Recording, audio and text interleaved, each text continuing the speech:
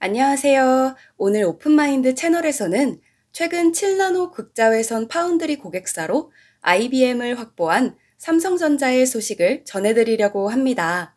지난해 우리는 이 자리에서 시스템 반도체 세계 1등의 비전을 심었고 오늘은 긴 여정의 첫 단추를 꿰었다. 이재용 삼성전자 부회장은 지난 2월 경기도 화성 사업장에서 이와 같이 말했는데 그 결실이 벌써 나타나기 시작했다고 합니다.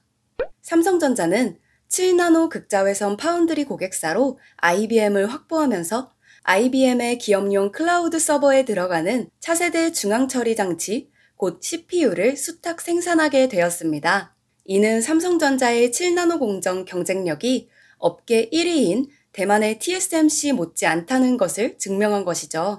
이 CPU는 IBM이 17일 발표한 차세대 서버용 CPU인 Power 10이라고 합니다. 삼성전자는 2021년 하반기부터 IBM Power 10을 7나노미터 EUV 공정으로 생산할 계획이라고 밝혔습니다.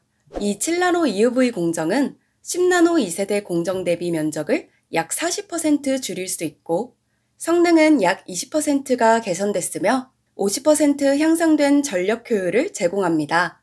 그렇다면 삼성이 7나노 극자외선 파운드리 고객사로 IBM을 확보할 수 있었던 이유가 무엇일까요? 바로 삼성전자는 2015년 업계 최초로 7나노 테스트 칩 구현을 발표하는 등 10년 이상 IBM과 함께 공정기술 연구 분야에서 협력을 이어왔기 때문입니다. 이번 성과로 삼성은 향후 추가 수주에도 긍정적인 영향을 미칠 전망이라고 합니다.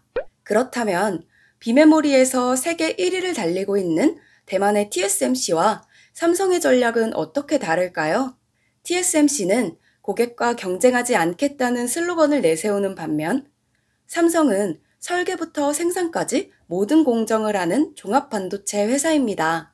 그러나 이번 IBM의 주문 수준은 삼성이 고객과도 경쟁하지만 글로벌 팹리스 기업들이 핵심 기술 유출을 꺼려 파운드리 물량을 주지 않을 것이라는 우려를 잠재울 만한 계기가 된 사건입니다. 또한 CPU의 강자인 인텔은 지금 설계와 생산 양축에서 모두 심각한 위기를 맞고 있고 공정 미세화에서는 이미 경쟁자들의 추격을 허용하여 7나노 이하 반도체 생산의 외주화를 검토 중이라는 소식도 전해지고 있습니다. 그리고 2021년 7나노 공정으로 직행하겠다는 인텔의 contingency plan은 2022년 말 혹은 2023년 초로 다시 한번 연기되었습니다.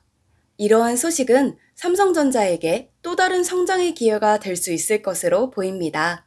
한편 삼성전자는 세계 1위 네트워크 장비 업체인 Cisco Systems와 인터넷 공룡이라고 불리는 구글의 반도체 칩 설계부터 생산까지 모든 과정을 전담했다고 합니다. 삼성은 기존에 생산만 담당하던 파운드리의 개념에서 설계에서 양산까지 모든 과정을 맡아 차별화된 서비스를 제공하는 전략인 퓨어 파운드리 전략을 내세우고 있는데요. 이는 향후 설계 능력이 부족한 업체가 삼성전자의 전체적인 서비스를 맡길 가능성이 클 것으로 예상됩니다. 또한 삼성전자는 최첨단 EUV 시스템 반도체에 3차원 적층 기술을 업계 최초로 적용했습니다. 이로써 삼성전자는 후공정에서도 첨단 기술 경쟁력을 확보하게 됐으며 이는 반도체 비전 2030을 달성하는데 큰 역할을 할 것으로 기대됩니다. 그리고 삼성전자 파운드리 사업부 마켓 전략팀의 강문수 전무는 삼성전자의 반도체 성능 한계 극복을 위한 기술을 지속해서 혁신해 나가겠다고 밝혔다고 하네요. 지금까지 삼성전자가 파운드리와 시스템 반도체 분야에서 어떤 성과를 이루고 있는지 알아보았는데요. 앞으로도 더욱 성장할 삼성전자의 행보를 오픈마인드 채널에서 쉽고 간단하게 전해드리도록 하겠습니다. 감사합니다.